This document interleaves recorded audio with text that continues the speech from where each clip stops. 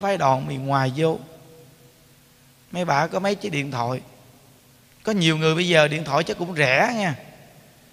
Khi người ta mua hai, ba chiếc điện thoại người ta xài nghe quý vị. Giao một chiếc, giữ một chiếc. Cái tu xong cái đi ra ngoài á, cái xài. Ngồi đó bấm bị quý thầy bắt được. Còn một bà thì ngồi bấm, những đứa ở phía sau. Những đứa lòn cái tay ra, những đứa đưa xuống chở điện thoại lên bà đang bấm điện thoại như đưa tay xuống những đức cầm điện thoại. Đức dở lên bà nói, ơ, cái gì vậy ta?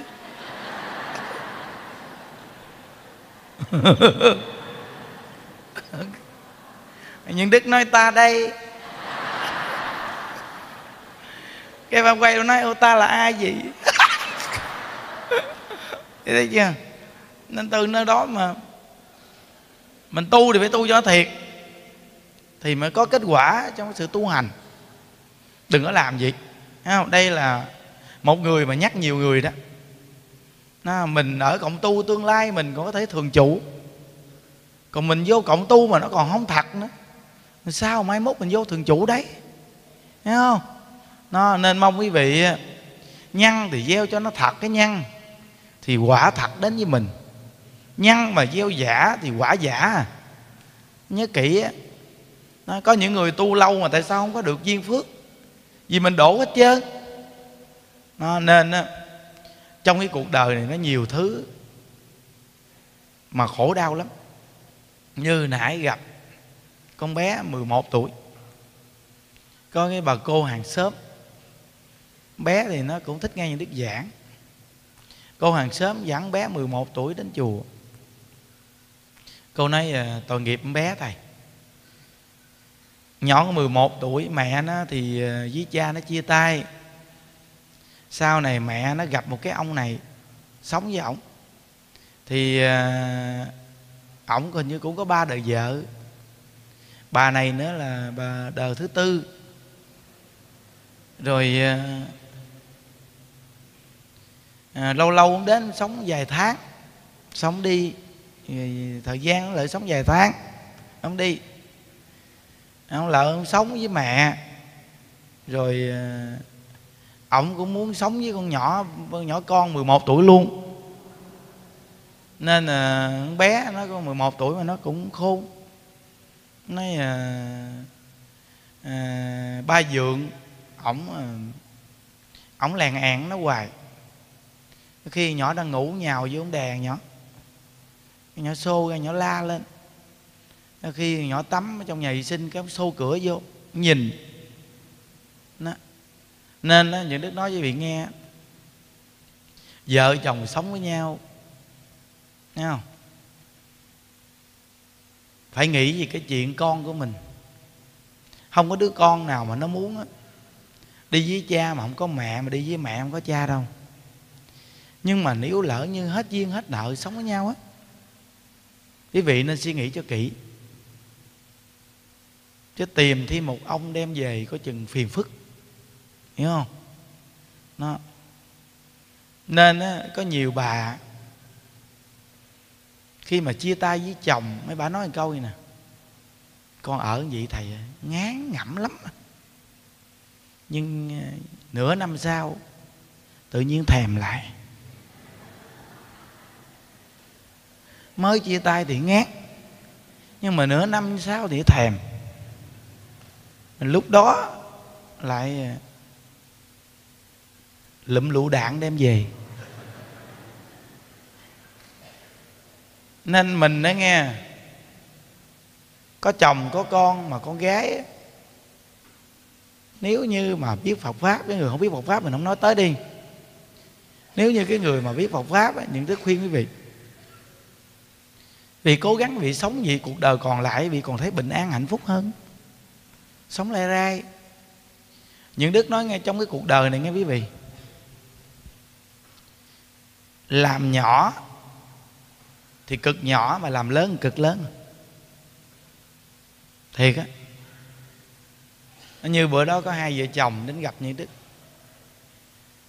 Hai chồng cũng biết tu mà có đứa con mà mà. Đến gặp những đức nói, thầy ơi, con định mở một cái khu ẩm thực bán đồ chai. Nó ghe ngay chỗ gần bến xe. Xin hỏi thầy, con làm vậy thấy thấy được không thầy? Như đức nói cái chuyện đó, chuyện quý vị. Hỏi như đức làm chi? Nó những đức nói kinh phí đó nó mạnh, nó lớn không? Nói bỏ ra cũng có chục tỷ. Làm khu ẩm thực cũng lớn. Những đức nói trong bụng mình nói thôi, mình không có đụng cái chuyện của người ta làm gì. Ta ngoài đời người ta muốn làm. Ta hỏi mình vậy thôi chứ, mình nói thôi tùy quý vị. Coi vào cái địa thế ờ, làm ăn đó là chuyện của mình thôi. Làm ăn thì nó còn coi duyên phước và gặp thờ. Thờ là có phước quý vị. Còn không có phước là không có thờ. Trong lòng như đức nói, nếu như hai vợ chồng mà có một đứa con mà có được chục tỷ thì chắc xài lai rai cả đời cũng không hết quý vị. Thiệt á đem chục tỷ đó gỡ ngân hàng mỗi tháng cái xài cũng hết. Còn làm gì làm nhỏ nhỏ thôi. Nhưng đức nói nếu mà biết hưởng thụ thời gian rảnh rảnh đi chùa. Cái à, lúc nào không đi chùa thì ở nhà nghe pháp niệm phật sống lai ra ăn chay trường. Những đức nói cái lối sống đó là cái lối sống thần tiên ở nhân gian. Không có giỡn đâu.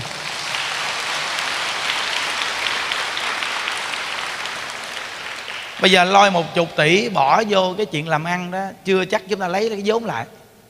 Chúng ta bỏ vô cái số tiền lớn quá. Cuối cùng thì buôn bán, ban đầu nó chịu cái sự mà ban đầu chưa đâu.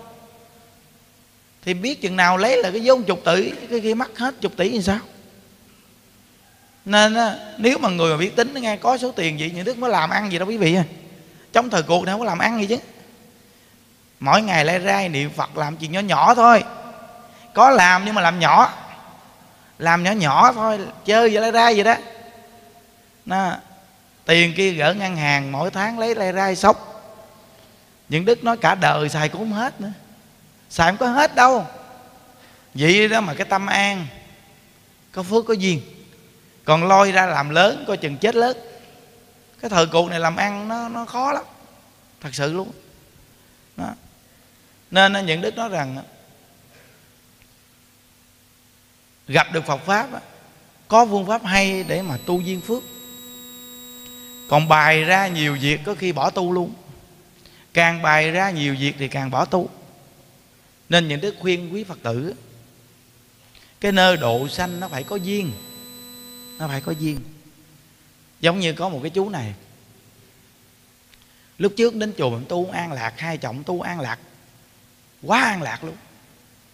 Có ngôi chùa thì chú cũng biết. Thầy hôm nay giờ thôi, tôi cũng muốn niệm phật. Bây giờ một số người mà đi đến chùa thầy đức tu mỗi tuần chủ nhật á, thì thôi chùa ổng quá đông người ta rồi. Bây giờ ông dẫn mấy um, mấy người đó đi lại chùa, tôi ngày chủ nhật tu đi. Rồi từ từ hình thành cái đầu tràng niệm phật. Chứ bây giờ chùa thầy đức đông quá, trời đông rồi.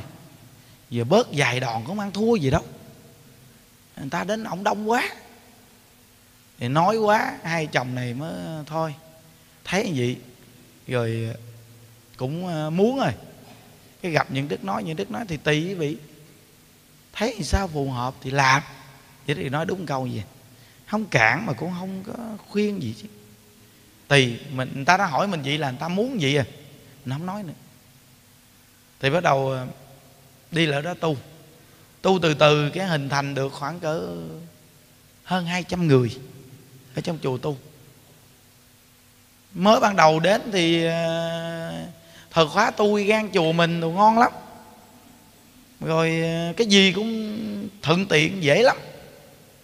Vì mà lên hơn 200 người cái tự nhiên ông chuyển phương pháp tu. Ông đổi tùm lum tùm lá chứ. Cái mấy cái bà mà đi tu chung sửng sốt mọi cái nó đi ngược lại chứ. Hai chồng giờ phiền não quá trời phiền não. Nói thì nói không được. Lỡ khóc, lỡ cười chứ. Xong rồi gặp những đức rồi hỏi, bây giờ con phải làm sao? Những đức nói, làm sao làm sao?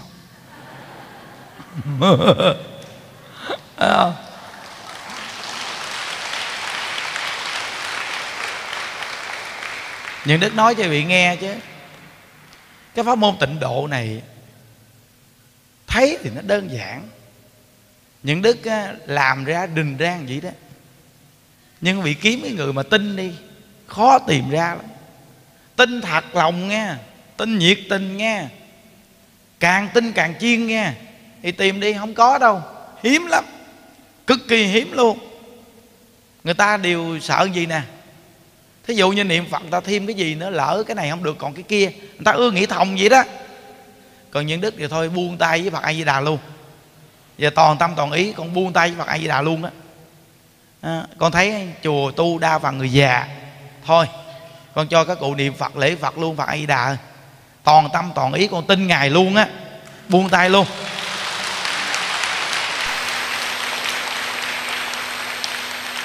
Nên nó mới được ngày hôm nay đó quý vị. Còn nếu như cái nơi nào mà ta muốn niệm phật á họ mà gặp quý vị, họ nói gì quý vị? Pha nói dòng do chứ. Quý vị nói với vị đó, gán, cố gắng niệm phật đi, rồi dài ba người cũng niệm đi, cũng tu đi. Một năm sau, vẫn duy trì vậy thì tính sao? Chứ đừng có kêu mình dẫn người đến. Thường người ta ngộ lắm. Người ta muốn hình thành mau nhất không à? muốn hình thành rất là mau. Nên bản thân mỗi người chúng ta quý vị, phải làm sao mà mình phải nhận thức sâu sắc. Trong khi mình đang tu được an lạc, mình phải duy trì cái sự an lạc này. Mình chưa làm được cái chuyện lớn lao gì thì mình tự độ. Mình gặp một người đủ duyên, mình giúp cho một người chỉ người ta. Gặp một người, giúp một người chỉ người ta. Đừng có nhào vào tạo gánh nặng. Những đức nói thiệt chứ, tất cả phật tử mà đi về chùa mình, những đức chưa bao giờ tạo một gánh nặng gì cho quý vị. Chưa có một vị phật tử nào mà những đức nói rằng quý vị đi kiếm tiền bây giờ chùa sắp xây. Rồi quý vị đi kiếm tiền, đi gom tiền, đi quyên góp tiền, không có nghe.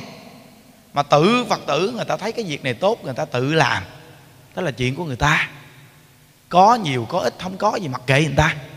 Chứ người ta không có lãnh cái trách nhiệm.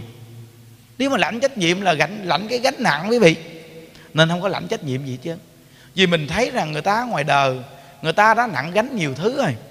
Mình còn đẩy cho người ta nặng gánh làm chi? Còn mình làm việc phật pháp thì tùy phật gia hộ. Cái gì phật đưa đẩy đến thì mình làm.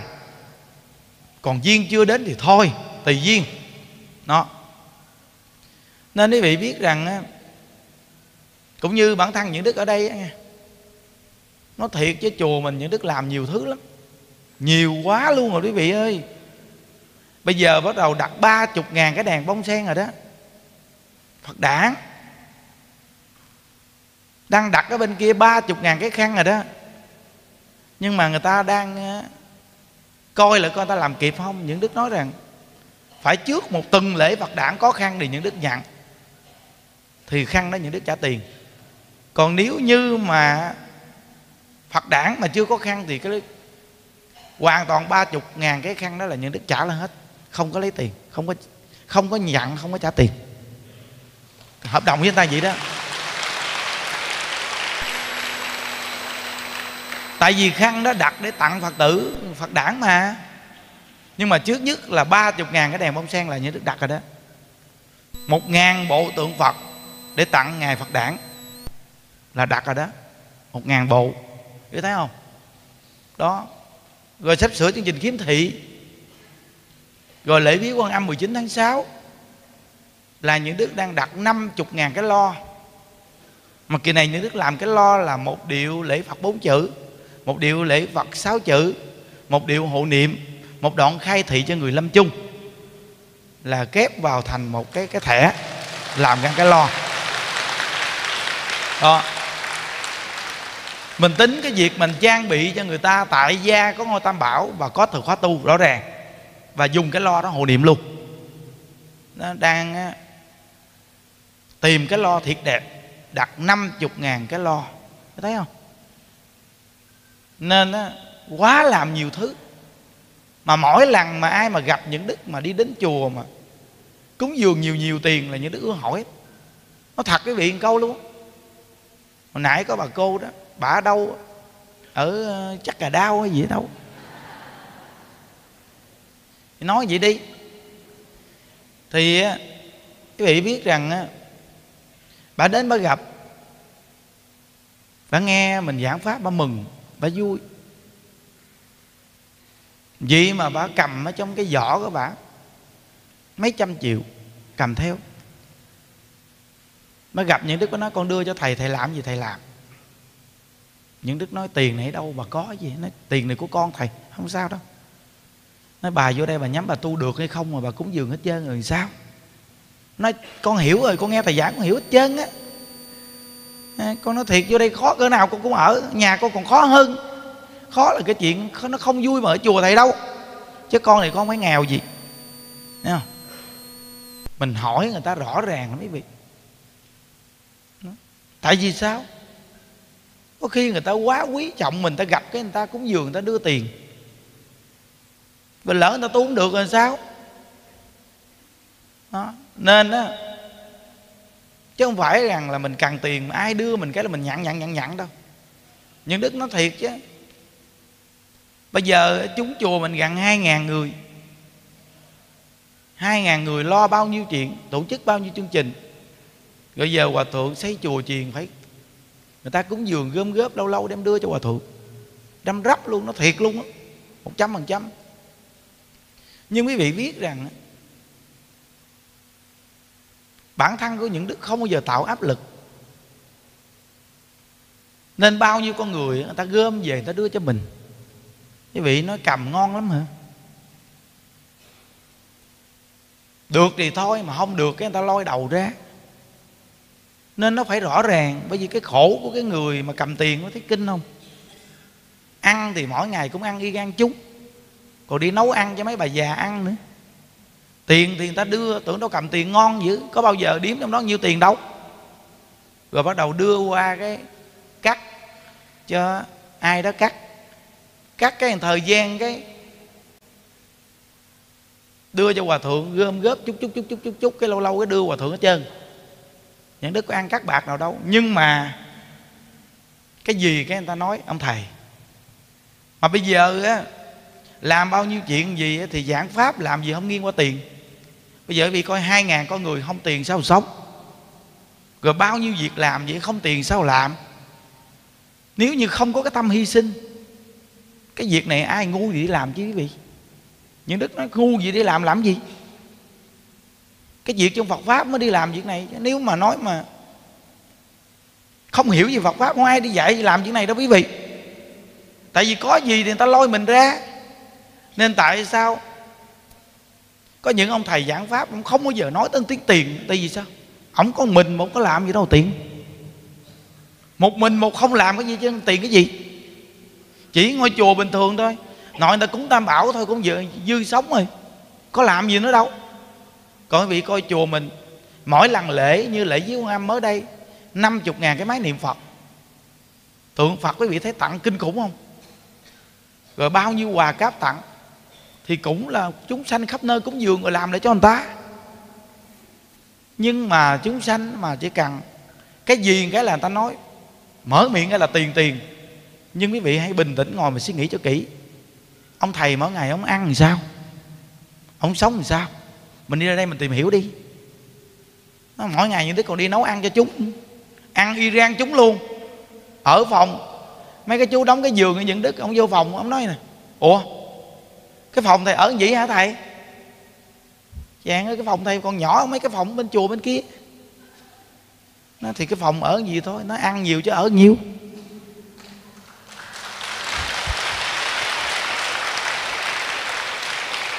Thấy không? Nên ngài trí giả đại sư năm xưa, khi ngài sắp sửa giảng sanh đệ tử hỏi thầy thầy giảng sanh phẩm vị nào? Thì ngài trí giả đại sư người nói, hạ phẩm, hạ sanh. Nó trời tu hành, tu dữ dằn vợ tu giỏi gì mà sao thầy giảng sanh hạ phẩm, hạ sanh? Người nói, hy sinh.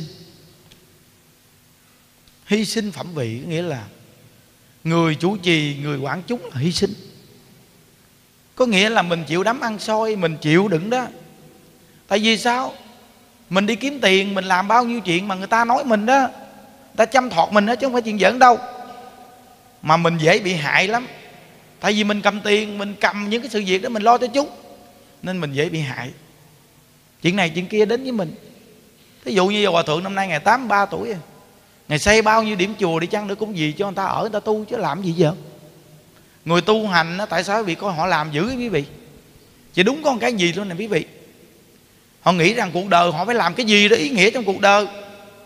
Chứ để để khi chết đi rồi, ủ một đời không làm được gì nên cái từ cái tâm đó mà họ làm vượt trội hơn người khác, làm cực lực làm hết mình là vì cuộc đời mình phải sống có ý nghĩa. Đây là một trăm phần trăm. Bây giờ quý vị coi bên đây đại tùng lâm kìa. Quý vị vừa dự cái chương trình lễ hội xong, bây giờ đại tùng lâm đào móng đầy hết trơn, quý vị coi kìa. Ra ngoài coi phải đúng không? Thì quý vị khắp nơi nơi về cúng dường được chút đỉnh rồi những đứa cũng kia cỡm chút đỉnh nữa bắt đầu là làm rồi đó thấy chưa nó dọn cái giường bông giấy trước nhà văn hóa này hết trơn rồi đó làm ba pho tượng ba cái tôn tượng ba cái đài quan âm ba cái đài tượng bổn sư di đà quan âm rồi đó cái chiến lại quan âm 19 tháng 6 này hòa thượng chuẩn bị nữa kìa mỗi một lần lễ là mỗi một lần chuẩn bị thêm mà không có chỗ ngồi còn bây giờ cái nhà to nó làm dài dài dài dài dài dài dài dài dài dài dài cái ngoài kia mà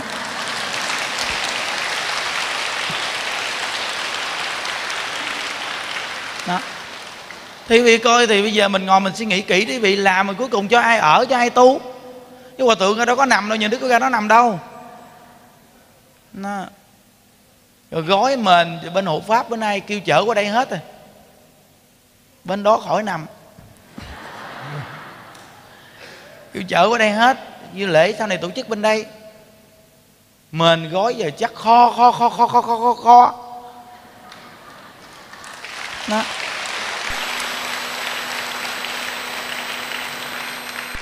Bây giờ cái là các trưởng đoàn đó, chuẩn bị rồi đó.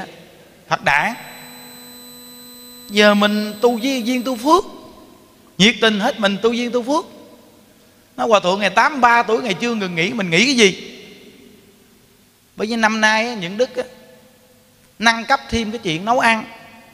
Nấu quá trời nấu luôn bây giờ mỗi tuần thứ bảy, chủ nhật thôi, nấu lộn mèo, nấu chèn ô cầm cái sạn bự thiệt là bự, quay vu vu vu vu vu vu vu vu vu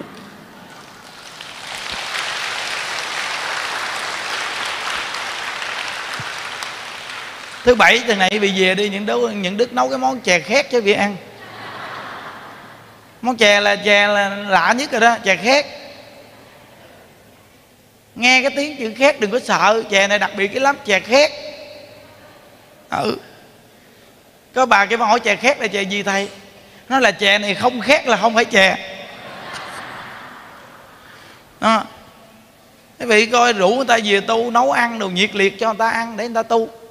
Ý những đức muốn nói này không phải là kể công, mà ý nói là mình phải làm một cái gì đó trong cuộc đời.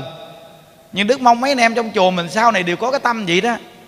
Một đời mình đi qua ý nghĩa, mà mấy anh em thấy những đức có buồn khổ gì đâu những đức làm nhiều việc mà những đức có buồn khổ nặng nề gì đâu. Mà những đức cũng có đi xin tiền bạc ai đâu. Mình nêu những cái việc tốt này lên ai làm cùng chung tay thì làm. Không làm chuyện họ của họ còn người khác làm. Không người này làm người kia làm. Lo gì? Nó rồi sáng gặp cô sòn. Cô uh, chuẩn bị bay về bên nước ngoài lại. Gặp cô nói con về đây. Người ta trả tiền được chút đỉnh nè, phụ thầy chút đỉnh. Nên người đưa một chút một chút một chút một chút, gom lại. Vài bữa đây hòa thượng hỏi nữa, bây giờ.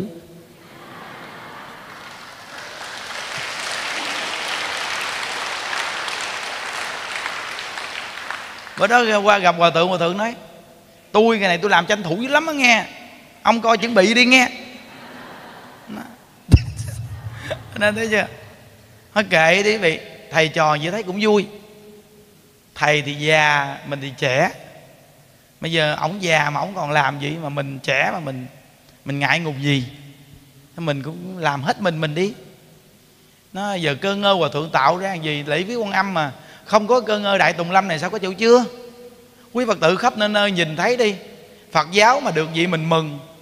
Người ta gì nóng nực mà người ta lại mà muốn, muốn, muốn, gớt áo gớt quần hết mà người ta lại. Nó quý vị coi mà người ta lại mà kinh khủng vậy là chịu tu lắm rồi. Đây là cái việc mình thấy Phật giáo mà người ta chịu tu vậy mình mừng. Xã hội này nhiều kiếp nạn mà nhiều người tu nổi lên tu là được tốt dữ lắm. Nó thì bây giờ nhờ cơ ngơ đại tùng lâm mà được gì chứ nếu mà không phải đại tùng lâm ai số lượng ở đâu mà chứa cái số lượng người này? Chàng ơi, cái lễ viếng ông âm đợt này mà không tưởng tượng được mà. Mà 19 tháng 6 còn dữ hơn nữa. 19 tháng 6 này coi chừng 50 ngàn cái lo không đủ. Không đủ. Cái đợt này Là phát máy cái giờ đó là tối, Một số người đến là không có máy á. Số người đến là không có máy đó. Mà còn bay mất hết 40 ngàn cái máy niệm Phật. Không biết đâu mất tiêu. Thấy chưa? Đó. Còn cái chuyến này nè, Lễ dưới quan âm 19 tháng 6 này là ngay nghỉ hè nè. Ngay nghỉ hè Còn kinh hơn nữa. Có chừng lên 60 ngàn cái.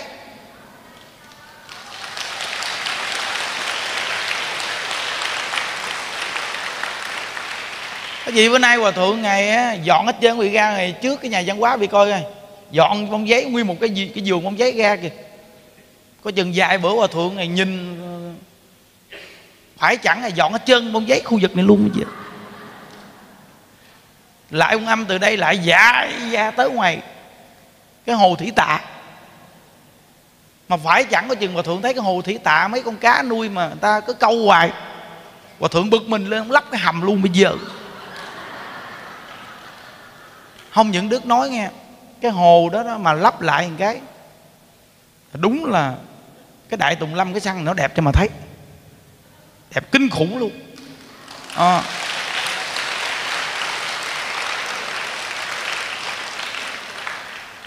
tại vì mấy con cá người ta cứ vô người ta câu hoài à.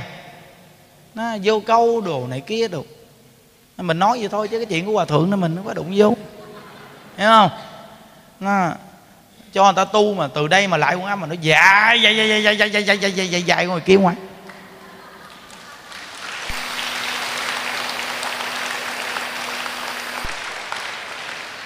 mà cái chiến này thôi là nó là đã là 18 cái máy chiếu rồi chiến sau chắc 28 cái máy chiếu phải chẳng mình bắt cái máy chiếu bự bằng cái nhà này vậy đó cao lên tới lóc nhà. Rồi là từ xa cỡ nào nhìn cũng thấy. Nên từ nơi đó mới bị biết cái số lượng người lại quan âm đúng là nếu đó, cái duyên của bồ tát quán thế âm lớn thù thắng. Nương vào cái duyên của ngài để độ sanh thì thôi, quá đặc biệt tuyệt vời. Quá đặc biệt tuyệt vời.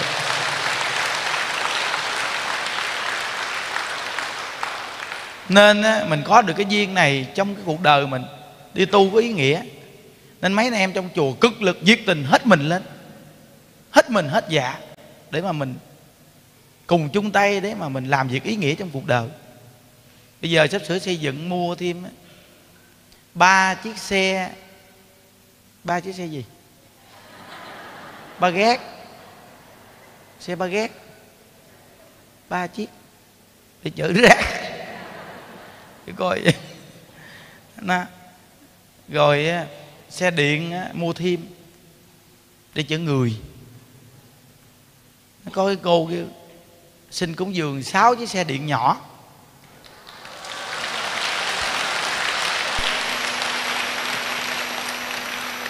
Sáu xe điện mà những đức chở bà sư cô đi vòng vòng chùa. Một người chạy người chở á. Xong như đức nói nam mô với đầu phật. Thôi cô ơi bây giờ thà cô cúng dường, cô mua chiếc xe điện bự bự á, để quý thầy chở mấy bà cụ đi tu, chở ra chở vô nghe pháp, rồi chở vào tự sắp xếp chỗ ở. Chứ bây giờ mà cô mua cái xe điện nhỏ xíu này á những đức rảnh rảnh như đức chở mấy cô đi chơi đây kẹt. Thấy không? Ban đầu thì mình chở đi vòng vòng chùa đại tùng lâm cho mát thôi mình chở một chút đâu mình kiếm kiếm chỗ nào mát mát mình quẹo vô luôn. Không kiểu mà một người chở người quý vị. Chở một chút rồi mình đã quẹo vô chỗ này. Mấy bà hỏi đi đâu vậy thầy? Nó thôi mà đi đâu rồi đi đi đừng có hỏi nghe à, nhớ nghe không? Ở đây tuyệt đối đừng có cúng xe đạp. Đừng có cúng xe mà chở đôi. Là đôi đôi cặp á đừng có ngồi cúng mấy xe đó. Một là cúng ba gác, hai là cúng xe điện 16 chỗ ngồi. Để một ông thầy chở 16 bà già, đâu có chuyện gì xảy ra. Còn mình cúng với xe Honda là nguy hiểm. Cúng với xe điện là nguy hiểm. Cúng với xe đạp là nguy hiểm. Tại vì cái xe đó nó chạy đi mình được. Rồi chạy ra ngoài đường luôn làm sao? Đúng không? Đó, suy nghĩ cho kỹ nghe bên hộ pháp mà người ta cúng xe điện như đức đem xe điện đức cho người ta hết. Không để trong chùa hộ pháp. Để chùa hộ pháp ở đây mấy bà chạy chút, mấy bà chạy ra tới cổng chùa, phải chẳng bà giọt ra đường luôn sao? Còn chùa không có một phương tiện gì chân đâu đi đâu được. Đi bộ thôi thì mỗi chân đấu đi đâu nữa thì ở phòng niệm phật. Đúng không? Nên á, xe điện là giao là giao người nào phải nghiêm túc đàng hoàng. Chứ giao cái ông mà mê đi chơi, ông chạy đi luôn á ừ ghé đâu này, ghé đâu kia không chơi. Nguy hiểm. Nó nên, nó thông báo cho các cô á. À, đừng có cúng xe điện, hai người đi. Đừng có cúng xe đạp, đừng cúng xe đa có cúng thì cúng xe hơi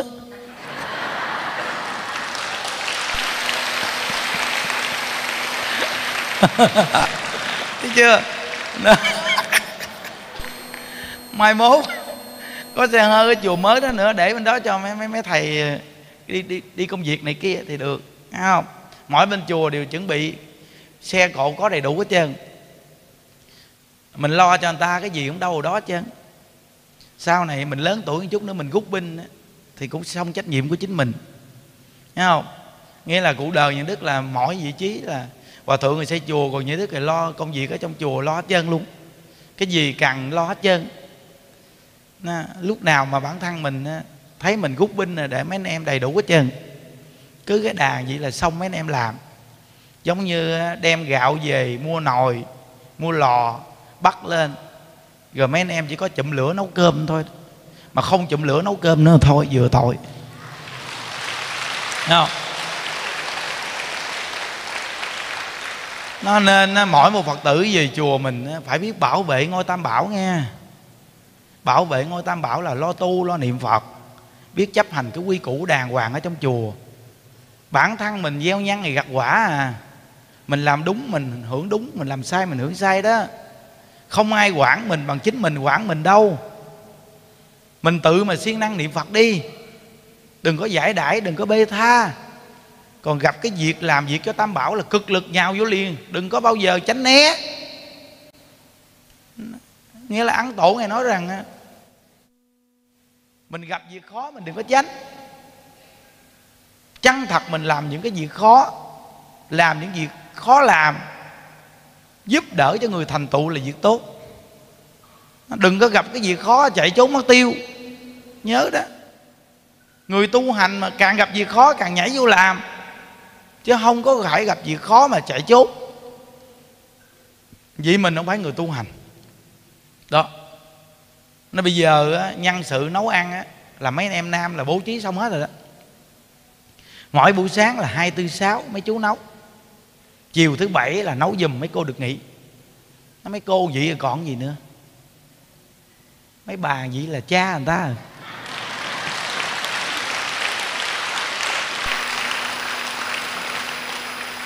nó rõ ràng chùa mình nói đúng cái câu việc gì khó có thanh niên chứ không phải việc gì khó thanh niên chốt nha. À, việc gì khó có thanh niên. Bây giờ bên đạo tràng ba là những quan là tới từng qua từng này nè. Là hai tư sáu những quan nấu mỗi buổi sáng rồi đó. Còn những đại thì chiều thứ bảy ông nấu. Còn những lăng bên đây là ông đòi nấu luôn cho mấy cô nghỉ. Chàng ơi chàng ông này. Kinh khủng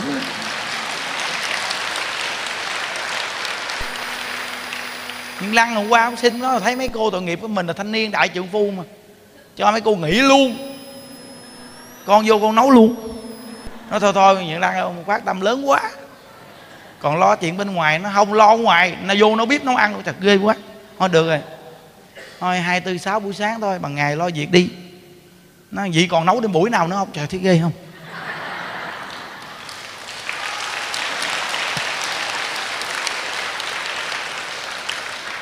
Quá kinh khủng. Bây giờ những lăng bây giờ sao không phát tâm kinh khủng quá? Bây giờ ông nói là không đi đâu luôn, mãi mãi ở trong chùa, phát nguyện luôn rồi đó. Rồi lễ quý văn âm phát nguyện luôn. Không đi đâu. Điện thoại là chỉ là mấy số điện thoại người quen điện mới điện được, còn mấy điện thoại mà ai mà điện đến là phá hết. Chặn cuộc gọi sạch luôn kinh khủng vậy đó cụ ơi à. bữa thứ bảy ông quỳ trước bồ tát quán thế âm lại, ông nói là phát nguyện là đời này là nuôi người già, nuôi đến hơi thở cuối cùng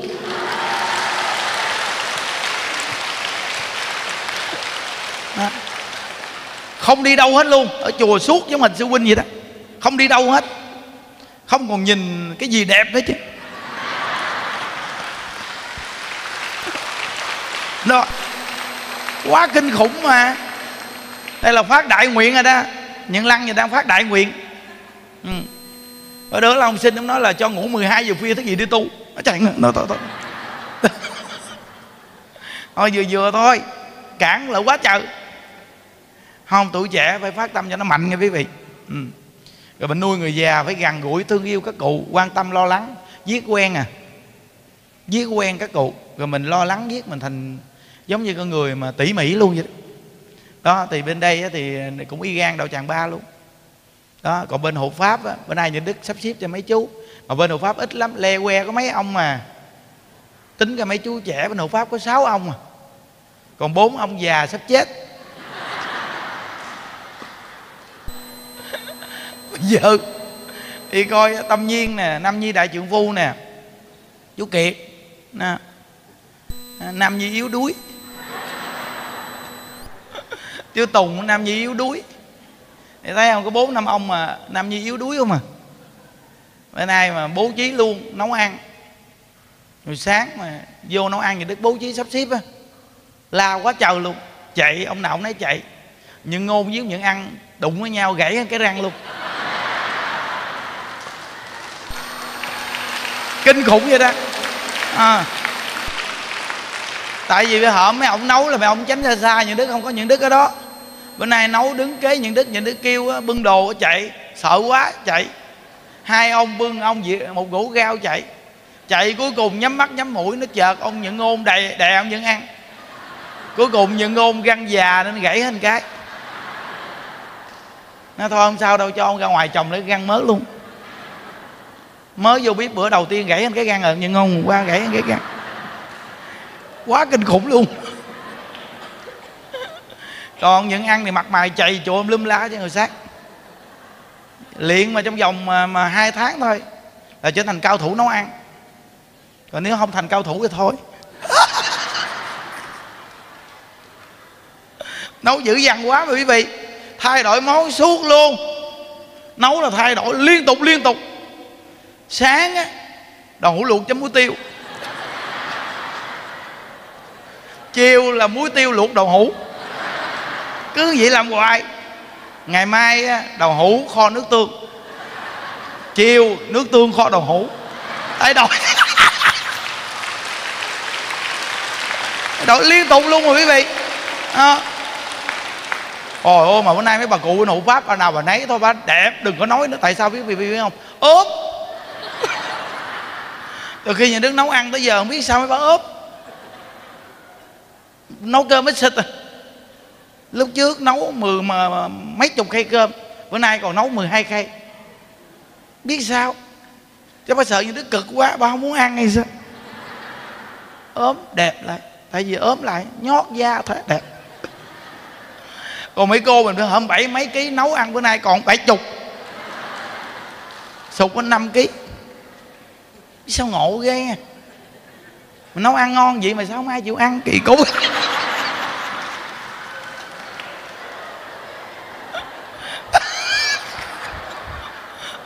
Nên thì biết rằng á, những đứa lặt rau á, lặt rau vô xong những đứa cắt cà chua vô cắt miếng miếng bự bự vậy nè. Người ta thì à, cà chua người ta trộn với rau người ta cắt mỏng mỏng không? Cắt miếng bự bự. Tại mình sợ mấy bà cụ quá không thấy đường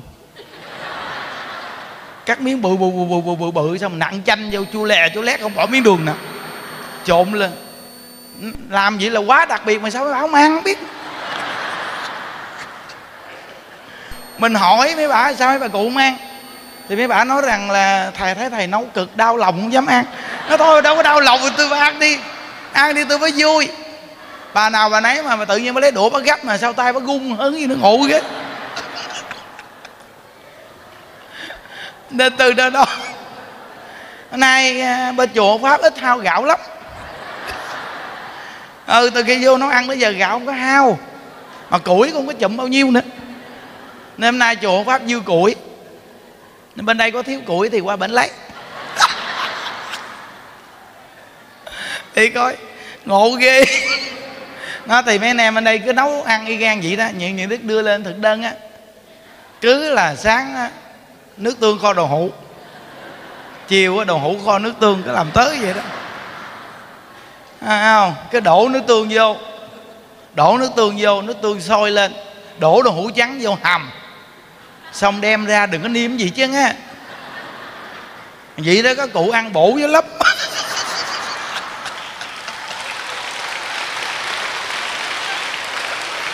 Đó. Không mà những quan cũng nấu vậy đó dễ nấu lắm nấu gì cũng có khó gì đâu. Với đậu hũ trắng cắt ra, cái bỏ vô cái gỗ sắt á, cái bắt nước sôi lên, bỏ mấy muối bột ngọt vô, cái cái để cái gỗ vô nước, chỉ cần sôi lên lên khói cái là bưng ra. Với làm chén muối tiêu chanh rồi chấm ăn, gọn hơ. Mà ăn nó mát, đừng có nói nó mới bị ô. Ăn cái này mà không giảng sanh mới sợ. Hiểu không? Nó nên cái đặc biệt quý vị, là trong chùa mà người ta vui. Ai cũng vui. Cái tâm người ta thấy bình an, nó vui quý vị. Nên nó vui bây giờ nói những chuyện đơn giản này, quý vị thấy cũng vui thấy chưa? Nó, chuyện đơn giản thôi mà cũng vui. Bữa nay nước yến nè hả? Chàng ơi. Giảng pháp chưa xong là thấy có một lon nước yến rồi đó cụ ơi.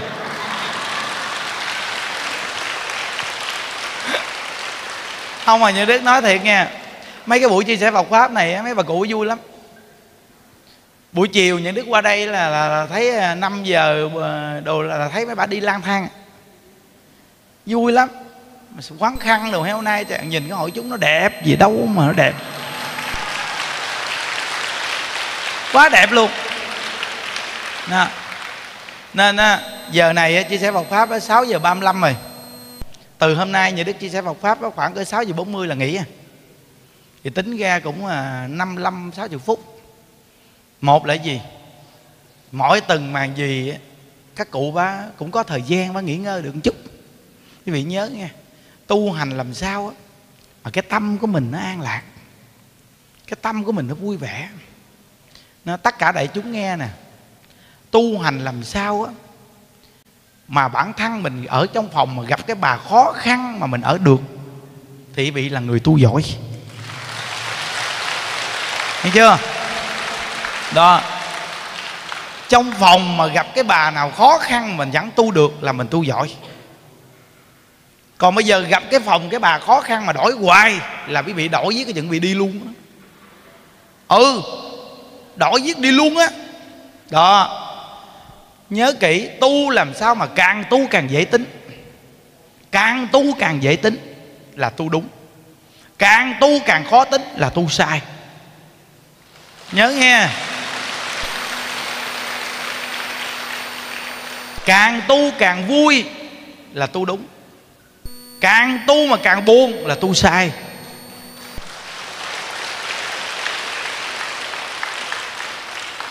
Càng niệm phật á, thì càng thích thì tu đúng.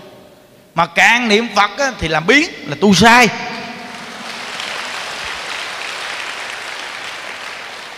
Còn các cụ bấm số niệm phật mà bấm làm sao mà bấm rõ một câu bấm số? Ai với đà phật hoặc nam mô với đà phật bấm. Chứ đừng có mà a a a a. Vậy là sai. A không sao đúng danh từ là bớt dữ lắm là bớt hai chữ nam mô là bớt lắm rồi ai với đà phật còn này a a a a a li a lịa cứ đổi máy bấm số hoài toàn là cái bệnh của máy bấm số bị bệnh là bệnh gì lúng cái nút vô tuốt trong thì bây giờ bà cầm cái máy bà chơi gì mà sao không lúng a a a a a bà nhặn cái đó mà ai mà không lúng lủng luôn nữa chứ lúng gì đó. Phải bấm ai với đà phật, bấm một số. Ai với đà phật, bấm một số. Ai với đà phật, bấm một số. Thà một ngày năm ngàn, sáu ngàn, mười ngàn đổ lại, còn hơn là mấy chục ngàn. Nguy hiểm quá.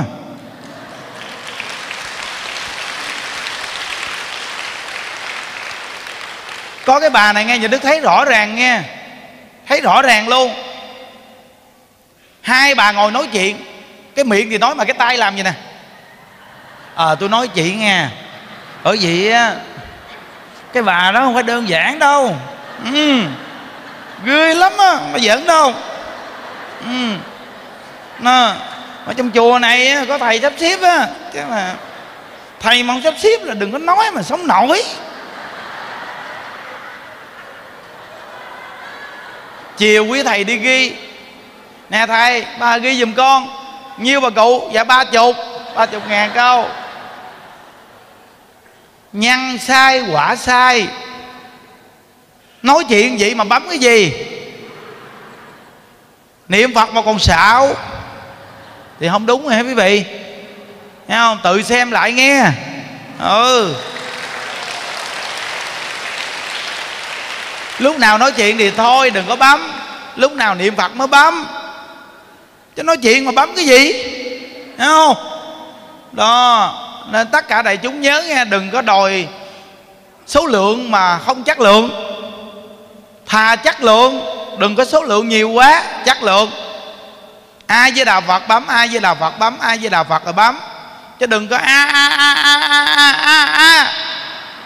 A không à. Còn cái này ngồi nhiều chuyện mà cũng bấm luôn nữa, thôi chết rồi. Hiểu không? Nó tự xem lại nghe tu sao mà cuối đời để phật hay đà rước đó? Nghe không? Chúng đại chúng an lạc vậy ơi. Đại chúng cười cái lên coi nào. Cười thêm cái nữa coi. Ha ha ha.